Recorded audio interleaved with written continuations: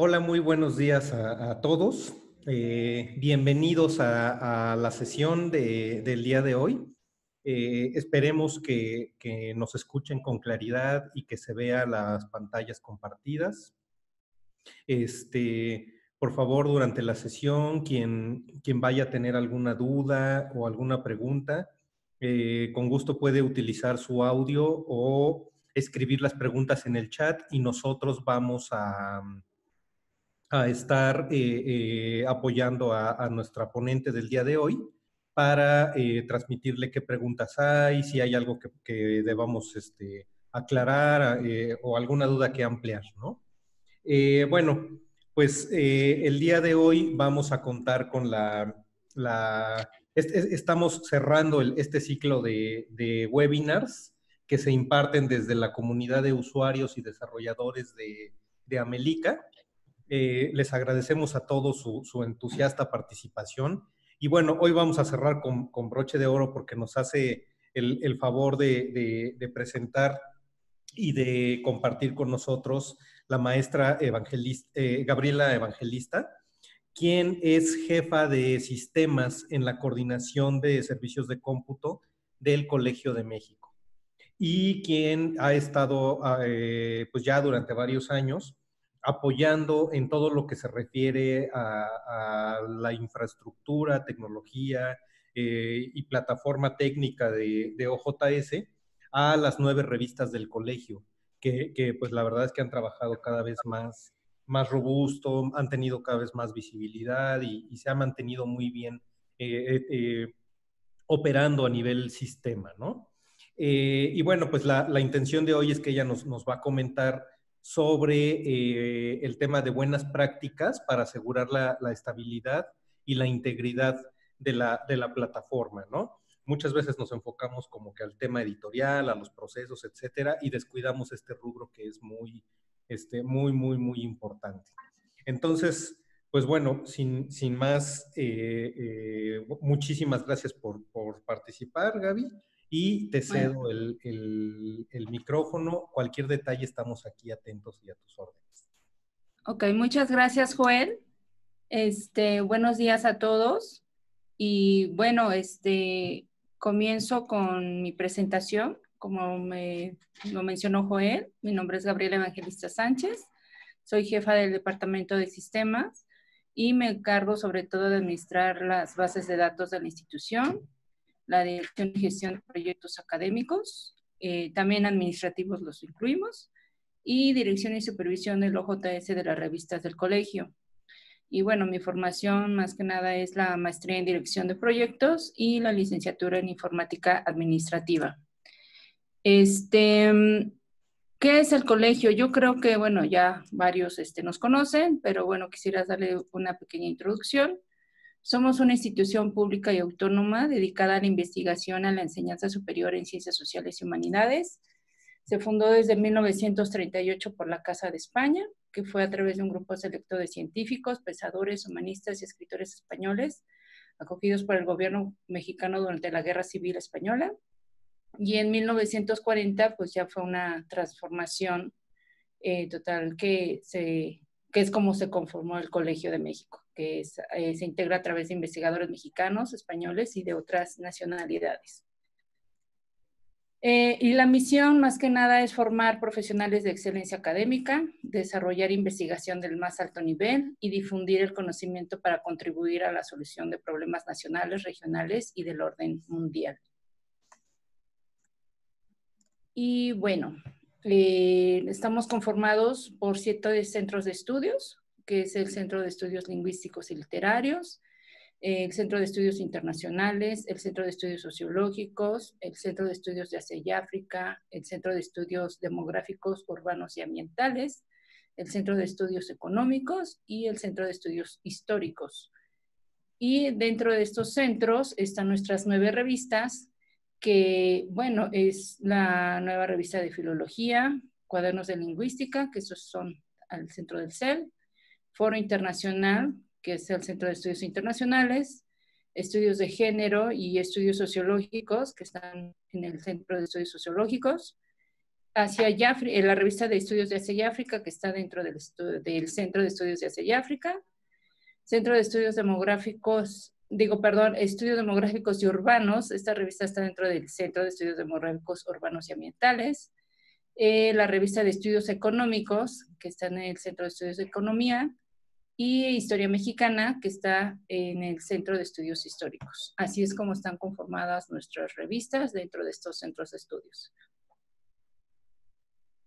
Eh, para estas eh, áreas, bueno, para estos centros de estudios, hay tres áreas de apoyo, que es este, la biblioteca, Daniel Coso Villegas, la coordinación de servicios de cómputo y el área de publicaciones.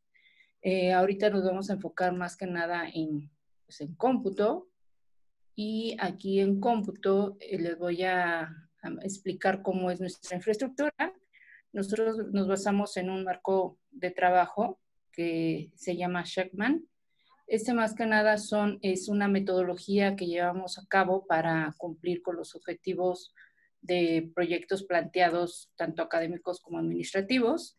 Entonces, nosotros nos basamos en varias preguntas. Primero, ¿en qué? Bueno, principalmente son los datos que se van a generar eh, y que vamos a, a, trabajar para cumplir pues el objetivo que se haya planteado. El cómo va a ser la función y, la hematología o los pasos a seguir para cumplir esos, esa meta.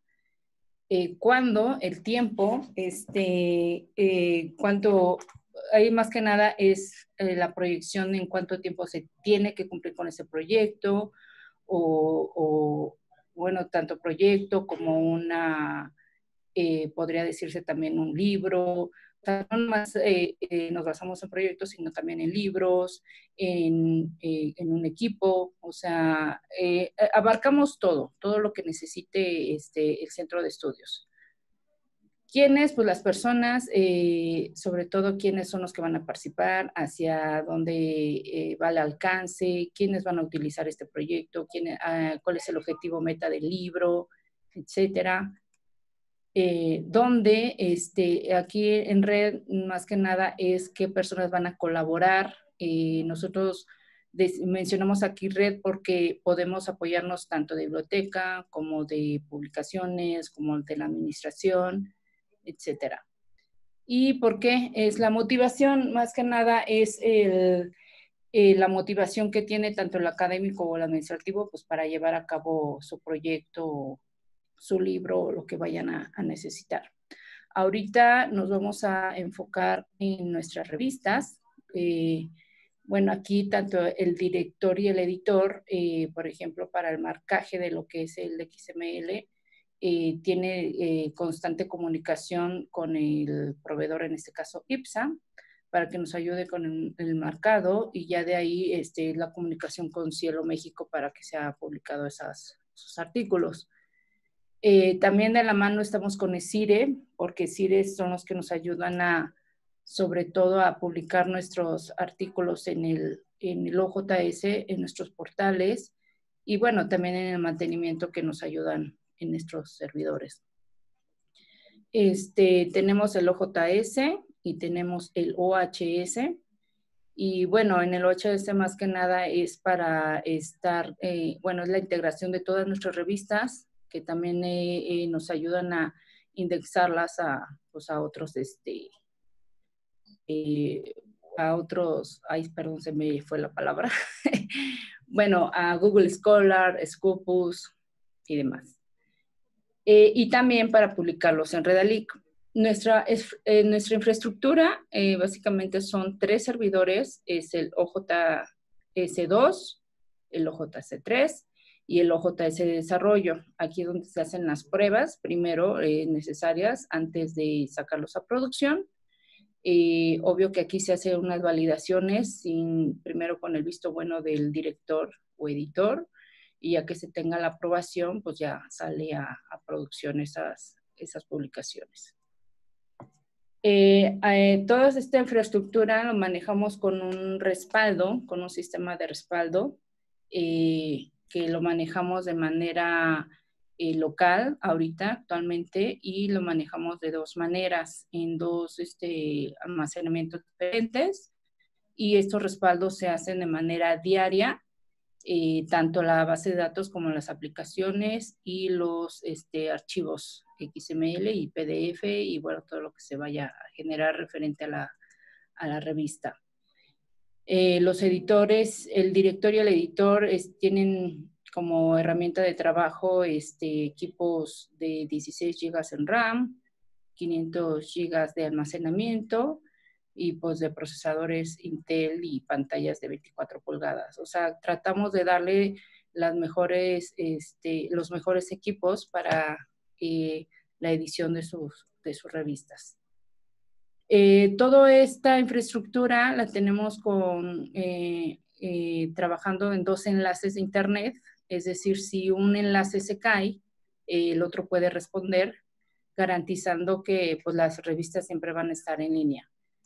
Y aparte se maneja un sistema de seguridad.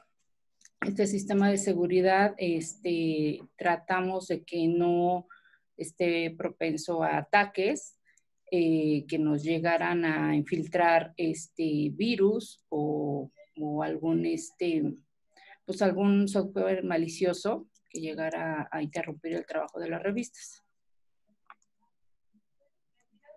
Y bueno, el plan de riesgo que tenemos, pues bueno, es eso, los errores humanos, las fallas eléctricas y las fallas externas son las que tratamos de, mitigar lo más que se pueda, pues para no afectar lo que es la publicación de las revistas. Eh, ¿Cómo seleccionamos a un proveedor?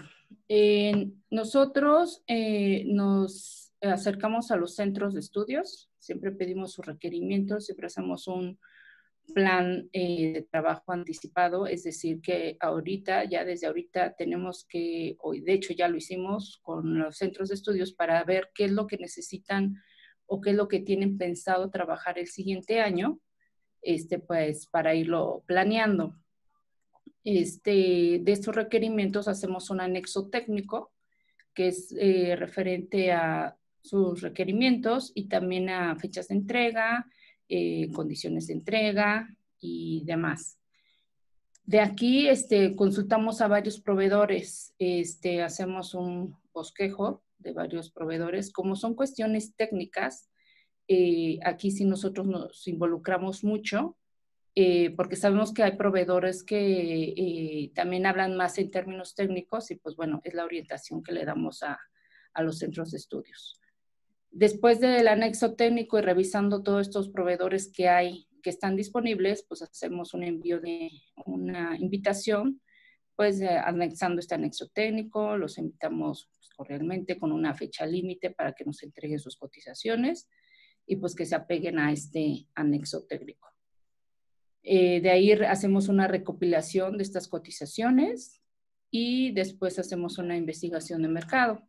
En esa investigación de mercado hacemos una evaluación de los requerimientos, es decir, que si de todo mi anexo técnico que, solicitaron mis centros de estudio cumplen con estos proveedores, pues este, ahí vamos viendo si está, aprueban o no aprueban estos requerimientos y el análisis de precios. O sea, aunque a un proveedor eh, cumpla con todos nuestros requerimientos, ahora tenemos que evaluar también los precios y si es accesible o no. Y ya después de ahí se hace un dictamen. En ese dictamen, pues ya seleccionamos al proveedor que es el que nos va a estar ayudando en este proyecto. Aquí de manera general les puedo decir que es algo que hacemos, ya son, este, son lineamientos que ya hacemos aquí en cómputo y que, ah, eh, y que puede ser para cualquier tipo de proyecto que necesite el, el centro de estudios. Puede ser para, este, eh, bueno, en este caso que hicimos fue para analizar eh, el marcaje de XML, eh, también lo hicimos para el OJS y lo podemos hacer para otro tipo de requerimiento que necesite el, centro de estudios. Y al final, pues se hace el contrato y el contrato esto ya lo hace la, el área legal, que es donde ya pone este, penalizaciones en caso de incumplimiento y pues demás. Eh, les quiero hablar de la difusión también que hacemos y que apoyamos también a estos centros. Eh, eh, sobre todo qué es lo que ayudamos a que tenga más visibilidad las revistas. Cada revista tiene pues su equipo editorial y también, bueno, su equipo de centro, que es decir, los de apoyo. Y estos también pueden eh, apoyarse de un community manager o de un programador, que eh, ya después de esto hacemos la difusión por redes sociales o por dos herramientas que tenemos de difusión, que es la PHP List y MailChimp. Aquí lo que quiero decir con la difusión es que aunque tengamos el OJS este, con las publicaciones, una mayor visibilidad es que a través de estas herramientas les llegue correos directamente a su lista de distribución de cada revista o de cada centro, haciendo mención eh, de las revistas, poniendo los links y pues ellos simplemente les llega un correo electrónico haciéndoles la invitación o haciendo la referencia de que ya salió el artículo número tal y les pone los artículos principales que pues, puedan eh, leer. Y este es un ejemplo, por ejemplo, de la revista de estudios demográficos, en donde la herramienta PHP List nos dice que, pues bueno, este número o este correo ya fue enviado, eh, fue enviado el, 2 de abril, eh, fue enviado por HTML o como texto, que eso realmente fue como lo recibió el otro, el otro usuario. Fueron 2.150 envíos, ninguno se rebotó.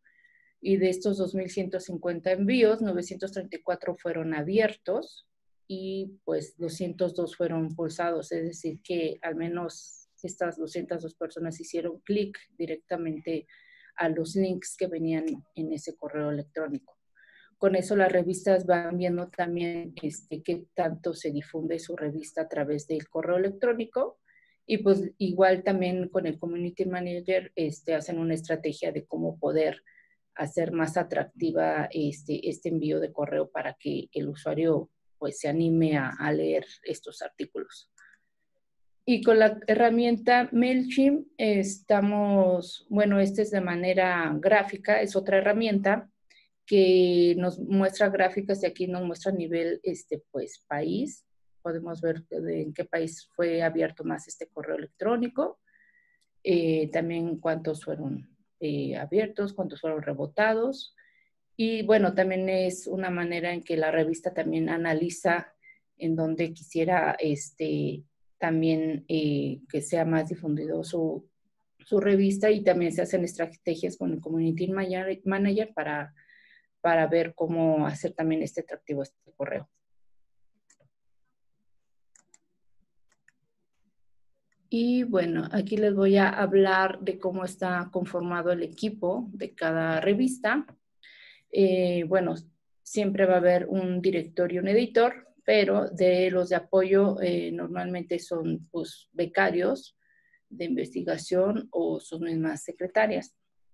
Como se dan cuenta, este, la mayoría de las revistas al menos sí tiene un, una persona de apoyo y, bueno, las que tienen más como demográficos y la revista de filología, eh, más que nada es porque tienen eh, bueno, tienen a su secretaria y aparte tienen a, un becario. Estas eh, revistas, bueno, cada una ya está en una versión diferente, pero la idea o la meta que tenemos es de que todos estén ya en la versión 3. Como se dan cuenta, Asia y África, Foro Internacional y Demográficos y, e Historia Mexicana son los que están en la versión 2, pero también ya vamos a estar trabajando con ellos para, para que se migre a la, a la versión 3. El equipo de cómputo que tienen estas revistas, la mayoría son Windows, nada más eh, lingüística y filología tienen Windows y tienen una Mac. Y el software que estas revistas tienen es este, el Office 365 la suite de Adobe Club, de Adobe, ajá, y economía nada más tiene látex. Así es como tratamos de darle las herramientas eh, a nivel software para que pues produzcan su revista sin ningún problema. Eh, la preservación digital, este es un proyecto que está en puerta para el siguiente año, todavía se está planeando, pero bueno, la preservación eh, digital es un conjunto de métodos y técnicas que garantizan que la información almacenada, no importando el formato, programas o sistemas que se usó para su creación, pueda permanecer en un uso en un futuro. Este, lo importante o lo que queremos atacar principalmente es la fiabilidad, que son los medios de almacenamiento confiables, infraestructura de hardware y software, la integridad, que es implementar estrategias para controlar la alteración no autorizada, tener un programa de gestión de derechos y con capacidad de auditoría, la autenticidad, este, que bueno, que todo lo que se vaya a estar aquí en este eh, preservación sea auténtico por, por el autor, eh, legibilidad, que es garantizar el poder consultar el documento con facilidad, la funcionalidad, asegurar el uso de forma continua y la interfase actualizada. Este, como les había mencionado, bueno, esto es algo que estamos planeando llevar a cabo el siguiente año. Y bueno, algunos de los desafíos es que la preservación digital es orientada a largo plazo pues, y la información digital no está pensada para el mantenimiento en el tiempo. Es decir, que este, realmente con que la información la tengamos guardada en una USB o en el disco duro, eh, no, no estaba pensado que con el tiempo se tendría que darle mantenimiento a estos respaldos, sino que simplemente se pensaba, lo guardé y ahí quedó. Pero realmente no, o sea, realmente las mejores prácticas es de que aunque tengas respaldada tu información, debes de conservarla y debes de asegurar que ese respaldo se pueda estar consultando pues, a largo de, en el transcurso del tiempo. Eh, la conservación eh, de libros, documentos, en otros materiales tiene la ventaja de poder ver el deterioro y si es oportuno se puede hacer una intervención para repararlo. Es decir que, pues, por ejemplo, si tenemos una revista o un libro que estaba eh, dañado, pues simplemente se arregla, se repara y pues se vuelve a almacenar. Y en el caso de la información digital, si se detecta un problema, la información se ha perdido si el archivo está, el archivo que tú respaldaste eh, hace dos años, lo quieres consultar hoy y ves que está eh, dañado, esa ya información ya está perdida. Eso es un reto que también tenemos que, cuidar. Eh, la obsolescencia de los formatos, de los programas e incluso del equipamiento de conversión, lo que hacen no, lo que hace no estable el soporte. Es decir, que es, este, si, por ejemplo, guardamos un archivo Word de hace cinco años en formato, eh, bueno, en ese entonces versión Office 2016 o 2013, y lo quisiéramos abrir ahora, este, pues con las actualizaciones del mismo Windows, del mismo Word, eh, quizás hay unas, eh, el pues algunas letras que ya no reconozca, alguna macro que igual se guardó. Entonces, este, y aparte, si se guardó en 32 bits, que en ese entonces así estaban los equipos de cómputo y ahora los equipos son de 64 bits, pues no habría manera de cómo abrir ese, ese archivo. Entonces también ese es un reto que tenemos que, este, bueno, que es un desafío más bien, el de garantizar que toda la información que tengamos actualmente eh, con el transcurso del tiempo en cualquier equipo de cómputo pues se pueda, se pueda abrir. Eh, la preservación de medio digital no depende de cuánto pueda durar el soporte en el que se encuentra, sino en la capacidad del documento de ser transferido de un soporte a otro y de un formato a otro tanto como sea posible. Es lo mismo que les había este, mencionado. Si yo quisiera este, tener, bueno, abrir unos archivos que guardé de, hace cuatro o cinco años en otro formato y lo quiero abrir, que estaba en un equipo de cómputo de 32 bits y ahora quiero abrirlo en un equipo de cómputo de 64 bits, pues no, no habría manera. Entonces, este, pues igual esa información pues se, se perdería. Y bueno, ahorita nosotros actualmente eh, para nuestros respaldos eh, tenemos una regla que es la 321 y la, la, regla 321 nos dice que, bueno, tenemos que tener al menos tres veces respaldada nuestra información, es decir, que conservar la original, esa sería la 1. La 2 es respaldar esta, este original en USB eh, o en el mismo disco duro de tu equipo. Y pues la tercera copia sería en un disco externo o, este, o en otro equipo de cómputo. Eh, actualmente nosotros los respaldos lo, lleva un, este, es un sistema de respaldos que ya en automático identifica qué equipos son los que se tienen que respaldar, qué información es la que se tiene que respaldar. Y para el caso de las revistas ya está configurado el de que el OJS y el OHS tiene que respaldar tanto base de datos, aplicaciones y la documentación que esté ahí almacenada. Este, hacemos respaldos diarios y hacemos un respaldo cada fin de semana, un full. Y cuando hacemos actualizaciones o mantenimiento aquí en nuestro centro de datos, este, tanto nosotros como el proveedor, que en este caso sería eh, eh, ESIRE, eh, ellos hacen un respaldo y nosotros hacemos otro respaldo por cualquier cosa. Eh, dos copias en diferentes medios de almacenamiento. Este, es decir, que a pesar de que tengamos aquí un respaldo, tendríamos que tener también uno en la nube, que también ese es un proyecto que estamos este, eh, realizando y planeando para el siguiente año eh, en colaboración con otros centros de, de CONACIT. hemos estado hablando, por ejemplo, con el Instituto Mora o también con CIESAS porque ellos también están preocupados el de cómo mantener su información pues, este, respaldada en otro lugar. Eso está en pláticas todavía, entonces, pero es algo que también quisiéramos concretar. Y una copia en zona geográfica, que es lo mismo, o sea, de que la información que tengamos aquí esté ubicada en otro lugar. Eh, también es algo que se platicó con estos centros. Entonces, si, llegara, si llegaríamos a concluir esto, pues bueno, ya estaríamos cumpliendo de completo esta regla 3, 2 y 1. Este, para cumplir estos respaldos, siempre debe de haber una colaboración, bueno, es decir, que una comunicación con los centros, eh, de decir, este, dime qué lo que quieres que te respalde para que estemos, este, lo estemos configurando y que se haga en automático.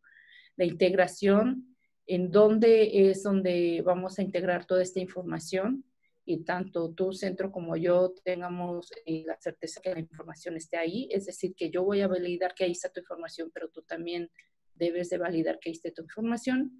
Y cumplimiento, si ya eh, se definió que estos respaldos se tienen que hacer diarios o que este respaldo se tiene que hacer eh, cada ocho días, pues bueno, validar con, con este software que tenemos que pues se cumplan estos, estos respaldos. Y pues bueno, esto es de manera general lo que les podría decir de, este, de las prácticas que nosotros aquí está, manejamos y este, bueno, que hasta ahorita nos ha funcionado muy bien en colaboración con todos y este, pues eso sería todo. No sé si tengan preguntas o paso a contestar las preguntas que me habían enviado.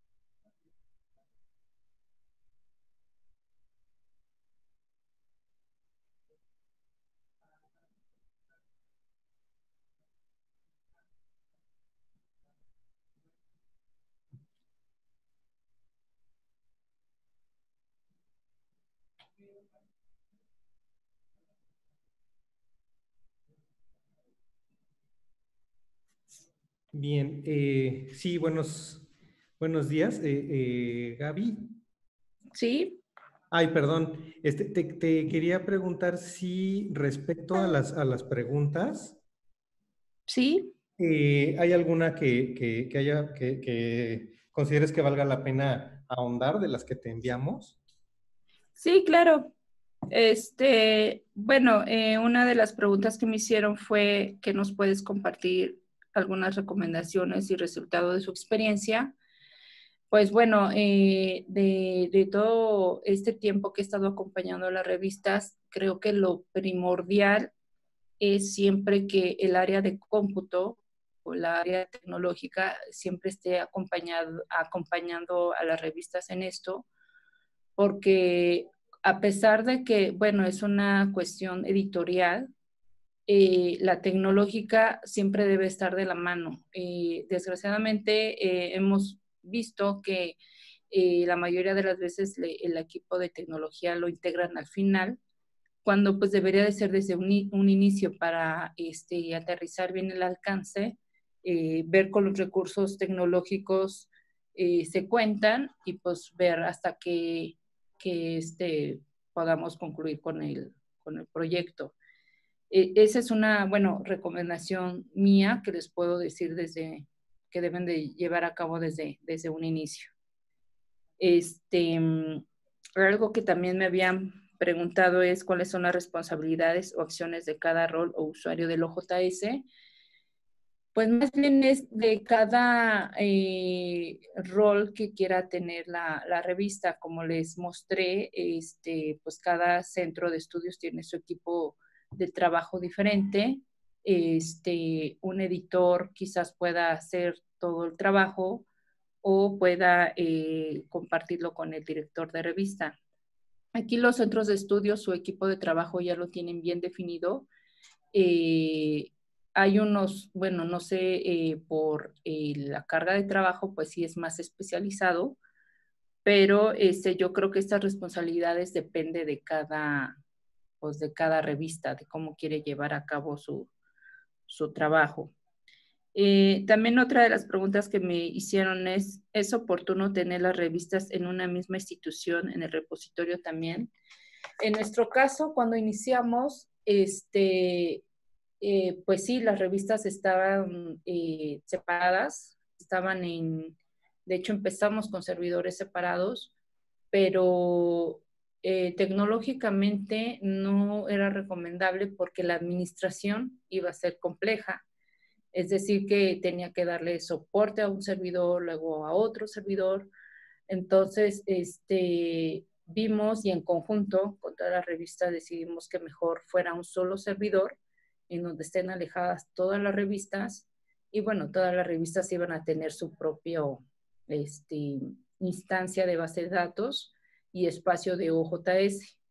Este, cuando se tomó esa decisión, eh, también fue de la mano con, con, los proveedores de decirles nuestros requerimientos. Por eso es necesario que los requerimientos estén bien definidos para que también el proveedor con su experiencia que tiene, pues nos comparta también su, pues, sus mejores prácticas que ellos pues, han llevado a cabo con otras este, instituciones entonces, este, cuando se tomó esa decisión y cuando el proveedor también pues, nos orientó y nos dijo que también una mejor práctica era tenerlo todo en un solo servidor, este, es como lo tuvimos, lo, llevamos a cabo.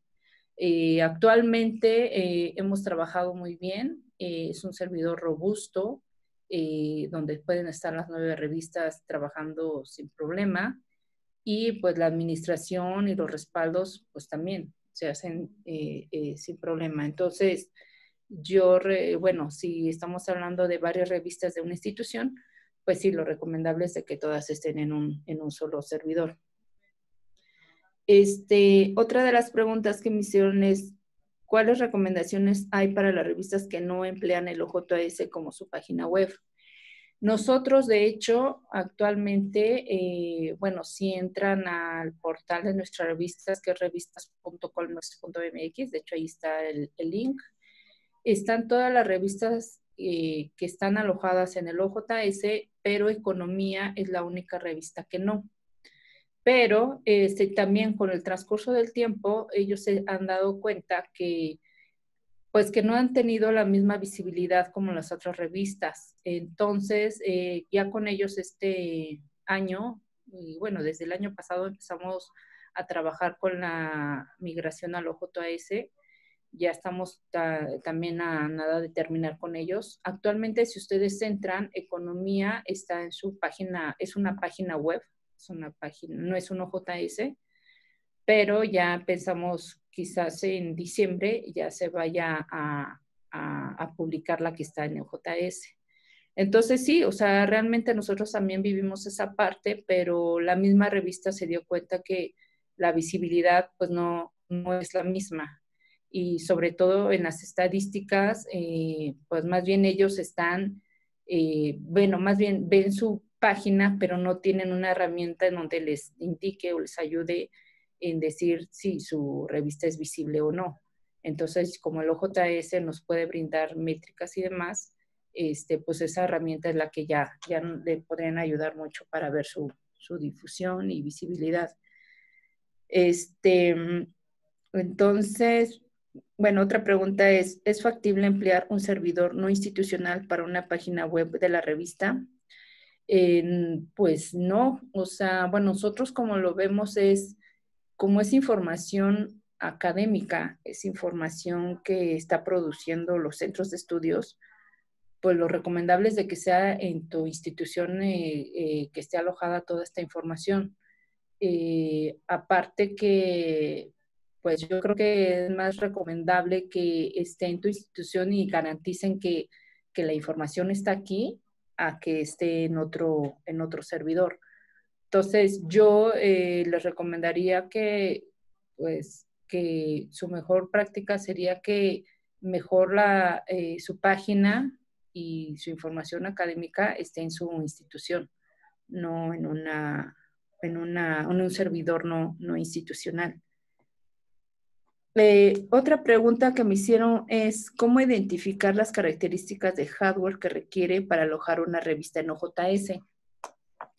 Realmente aquí nosotros cuando comenzamos, este, que realmente era sin tener conocimiento del OJS, eh, tuvimos que hacer esa búsqueda de, proveedores. Eh, con las revistas primero hicimos los requerimientos de que sea un OJS, de que siempre esté en línea, disponible y, obvio que no sea lenta la consulta de los artículos.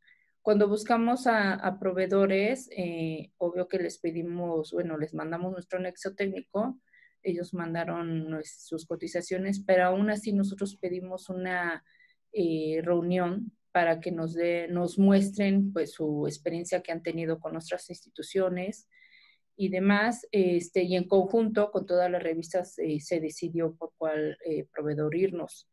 El proveedor fue más que nada el que nos ayudó a, configurar el servidor, fue el que, nos ayudó a proyectar de que, bueno, tienes nueve revistas, y lo podríamos hacer así con este, con este almacenamiento, este disco duro, esta memoria, entonces sí es importante que, eh, como lo había mencionado, que la parte técnica siempre esté desde un inicio, junto con las revistas y con ayuda del proveedor pues, para realizar este, pues, el proyecto. Eh, otra pregunta me dicen, además del servidor, ¿qué otros aspectos debo de cuidar para garantizar la seguridad de mi información?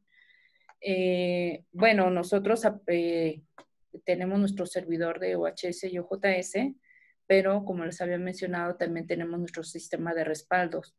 Este sistema lo que se encarga es de, respaldar la información de, a través de la configuración que yo le defina.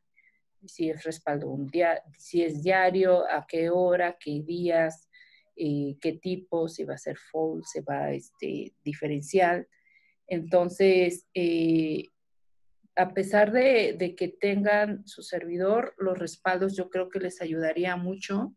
Y bueno, si es posible cumplir la regla 321 o al menos la 1, que es este, respaldar de manera local eh, su servidor y en otro equipo alterno, este, yo creo que eso sí se podría asegurar en tener su información. Y bueno, y sobre todo eh, el antivirus, eh, tenerlo actualizado en sus equipos de cómputo, porque como se van este, a través de sus equipos de cómputo, es como van eh, subiendo la información a la JS, pues bueno, también podría ser una vulnerabilidad, pero si tienen actualizado también su antivirus, eso también va a ayudar a que pues no, no le pasen nada ni a su equipo de cómputo y ni al OJS. Este, ¿Qué aspectos recomienda evaluar al momento de seleccionar un proveedor de hardware, software o de servicios?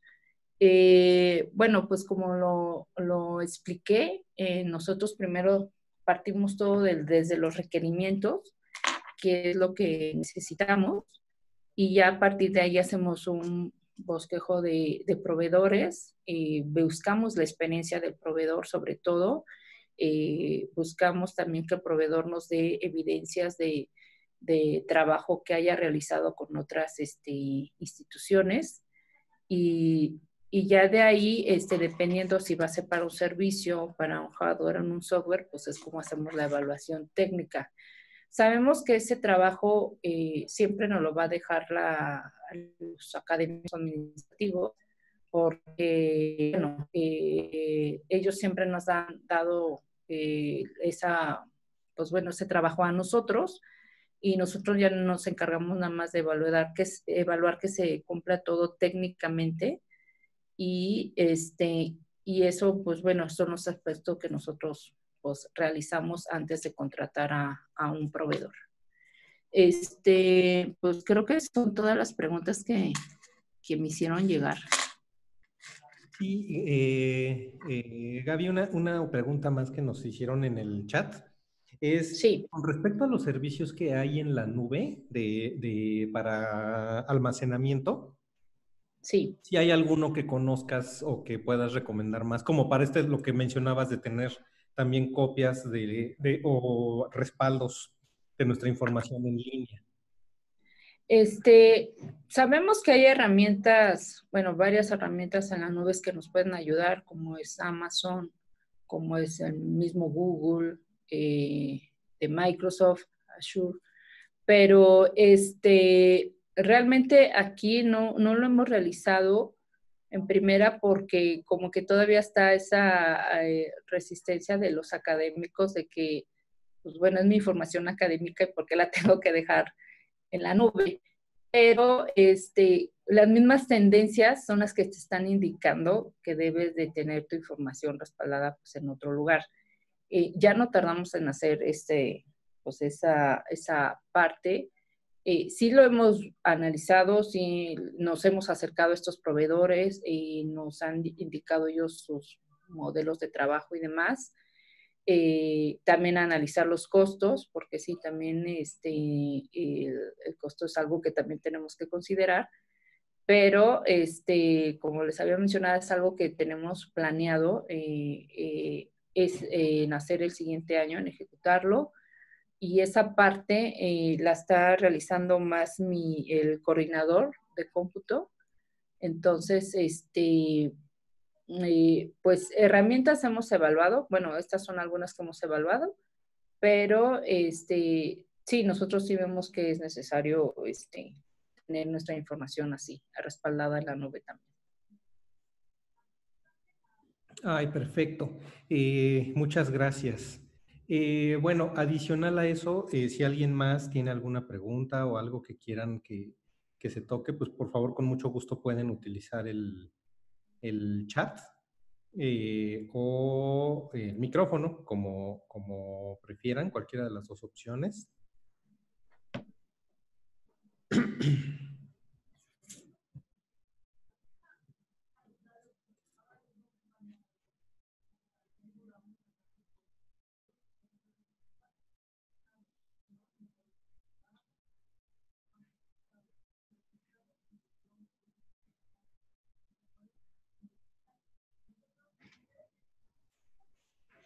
Eh, eh, Gaby, una, pregunta adicional es de si han tenido experiencia utilizando o, montando este tipo de plataformas, pero en servidores Windows.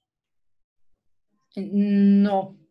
Este, eh, como lo expliqué, como nosotros éramos nuevos en esto, eh, realmente buscamos la mejor eh, herramienta que nos ayudara a mantener sobre todo de manera robusta el, el OJS. Y, y, vimos, bueno, también estuvimos nosotros revisando cómo, cómo era que estaba configurado un OJS, eh, las mejores prácticas que de hecho menciona PKP también.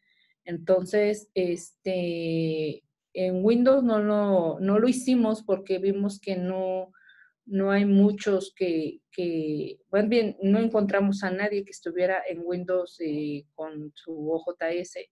Eh, aparte que, bueno, el proveedor fue el que nos ayudó a, aterrizar este, este proyecto. Y pues sí, o sea, vimos que realmente hicimos un bosquejo y no vimos que nadie estuviera en Windows, por eso no, no lo realizamos. Mejor preferimos seguir la mejor práctica que nos recomendó el proveedor y también las que consultamos en PKP. Entonces, así es como también este, es como eh, aterrizamos nuestros servidores. Excelente. Bien, pues eh, me parece que, por el momento serían eh, todas las dudas, ya, que ya fueron varias, ¿no? Este, sí, de, hecho ahí dejo mi correo electrónico, cualquier duda o acercamiento sin problema lo podemos hacer.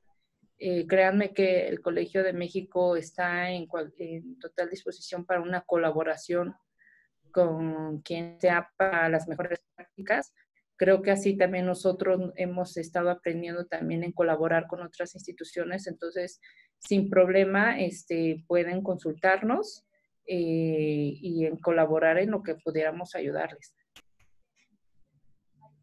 Perfecto, pues eh, eh, mil gracias por, por, todo el, apoyo de tanto para la sesión de hoy como por compartir la, la experiencia que, que, ustedes han tenido este, trabajando con, con el OJS y sobre todo en la parte técnica, que normalmente es algo que pocas veces uno se, sobre todo como editor de, revistas, se, enfoca o supone que ya alguien, alguien más se peleará con eso, ¿no?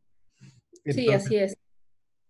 Pues bueno, siendo así, eh, eh, en primer lugar, eh, te, te, agradecemos mucho, este, Gaby, por la participación del día de hoy.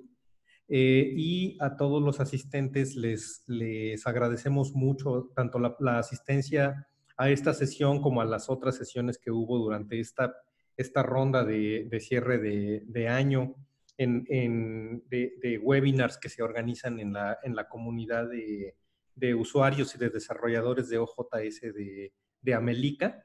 Este, les reiteramos a todos, visiten por favor el sitio de Amelica, únanse a la comunidad, y recuerden que, además del tema de la comunidad de OJS, Amelica representa muchas otras cosas con respecto a, impulsar la ciencia abierta y la publicación en, eh, abierto en beneficio del, sur.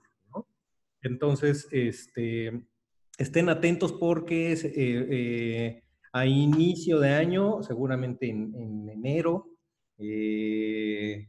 ya que se estén retomando actividades y eh, y, estemos comenzando la, nueva etapa, vamos a publicar los nuevos eh, webinars donde vamos a tocar también mucho sobre el tema de datos abiertos, eh, minería, vamos a retomar temas que interesaron mucho esta vez, minería de datos, seguridad, etcétera, ¿no?